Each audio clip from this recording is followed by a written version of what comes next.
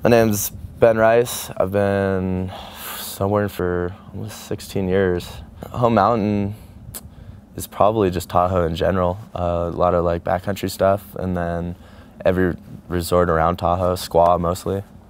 Uh, the board I'm riding today is the Evil Twin, um, not the artist edition, just the normal Evil Twin 154. Just been using that for everything from powder to the street stuff. It's just my all around to all around go to right now. I love riding like good steep faces with powder. Like I love powder riding and I also love like good urban street stuff, not like the straight like down rail, but like the more creative kind of like um, wall ride stuff or like redirects, uh, rails to wall rides, gaps, things like that. I like to try and like sounds stupid to say, but I like to try and copy skateboarding as closely as I could. Yeah, my advice for the kids that are coming up is, you know, just stay focused. There's gonna be a lot of partying happening because that's part of snowboarding, but don't party too hard, dude. Stay happy. That's the best thing you can do.